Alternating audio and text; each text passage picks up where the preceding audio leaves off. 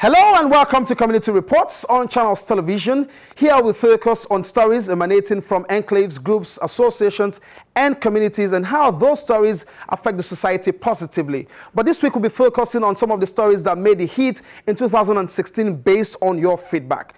From shooting on a shoestring budget laced on a rookie footing to what is now undoubtedly a multi-million naira movement, Today, that narrative has changed from what started with the ingenuity of a trader producer named Kenneth Nnebue into a galaxy of stars, ambassadors, political appointees, and multi winning professionals who now make up the movement universally recognized entity called Nollywood. From Surulere, the supposed birthplace of home video making, we take you to another vicinity located in Ikeja, in the course of the year 2016, we brought you a story of how a small seed planted in a small corner shop grew into becoming an oak tree.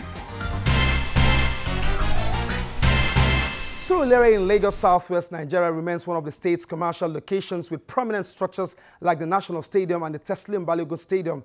Interestingly, that environment served as a mecca of some sort for the actors, actresses, and crew members Winnie's Hotels on Folawiyo Bankole Street in Surulere is a place to find most of the Nollywood community.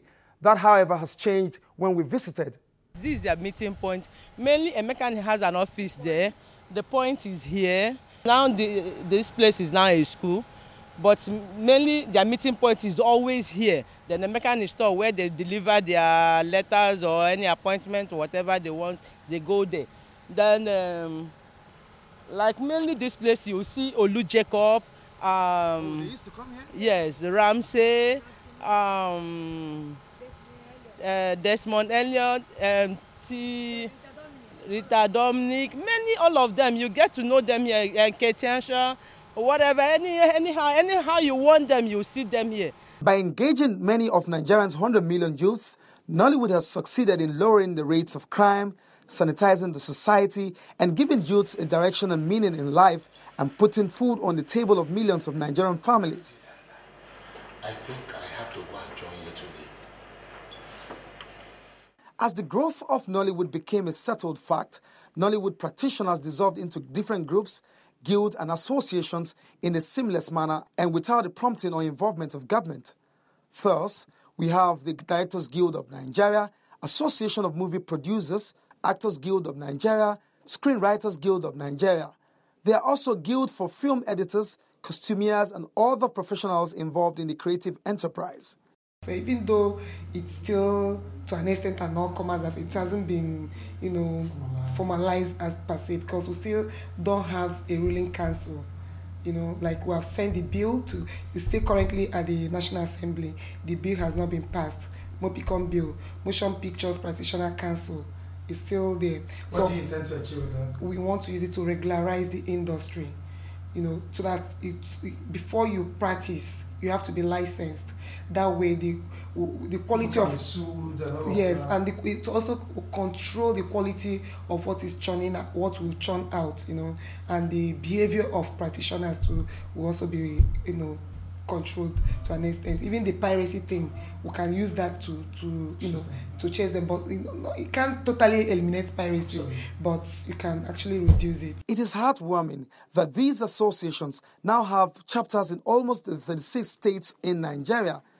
This again shows that Nigeria have the capacity to do the right thing even without the overbearing influence of government. Mr. Fred Amata has 48 votes.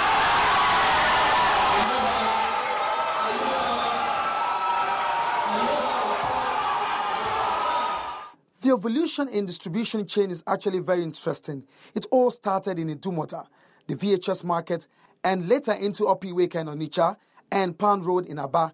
Today, distribution in VCD and DVD formats have grown into Alaba market as well as in Enugu and Calabar.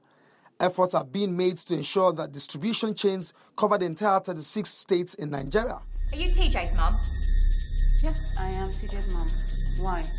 It's Dumbo. Can you speak? Also, Nollywood practitioners have crafted and produced thrillers that were all received in cinemas all over the world.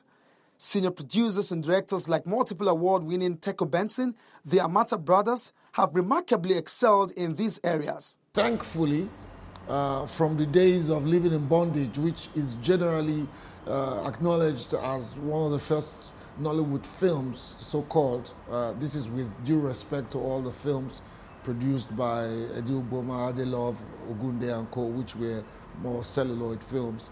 Um, from then to present day, 30 Days in Atlanta, and which is the biggest box office movie of all time right now in Nigeria. Uh, um, we are beginning to make, you know, really serious incursions and advances. The days when artists were regarded as riffraffs are really over. Thus, Nollywood has supplied a fair share of political and executive leaders to the governance spectrum.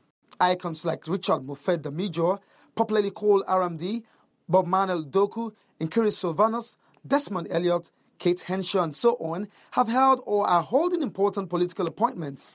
It is noteworthy that these icons have not had a single blemish on their careers.